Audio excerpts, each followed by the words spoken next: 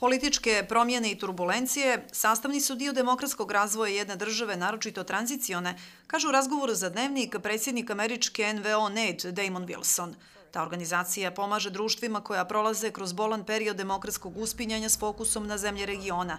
Naš sagovornik, koji je u vrijeme pridruživanja Crne Gore NATO bio drugi čovjek Atlantskog savjeta, sumira period od prije nekoliko godina do danas. Crna Gora je do sada prošla kroz jedan veoma uspješan tranzicioni period. Tokom posjete vašoj zemlji sreo sam se s predsjednikom i premijerom. Ovo što se trenutno dešava je zdrav demokratski razvoj. To je važno za Crnu Goru, da bude zdravo društvo u NATO savezu i da ima jaku osnovu da se pridruži Evropskoj uniji.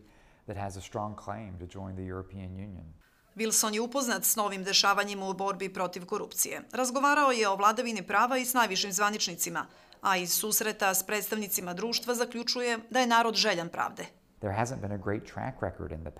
Nije bilo puno rezultata u prošlosti, međutim čujem da postoji nada da se okreće nova stranica pravde u ovoj zemlji. Vladavina prava, borba protiv korupcije i organizovanog kriminala je nešto najvažnije. Bitno je da država pokaže da ima moć da se izbori s tim pošastima, kao i da sudski sistem sprovodi fair postupke. Uh, Te demokratske procese obećao je premijer učesnicima samita mladih koji je Abazović otvorio u Podgorici zajedno s Wilsonom i predstavnicom Evropske unije Oanom Kristinom Popom.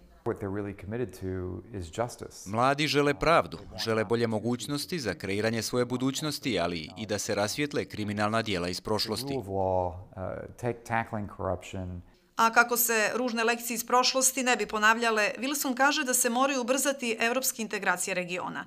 Ukoliko to ne shvate zapadni lideri, bit će to, kaže, greška koja sa sobom nosi ozbiljne posljedice po bezbjednost regiona.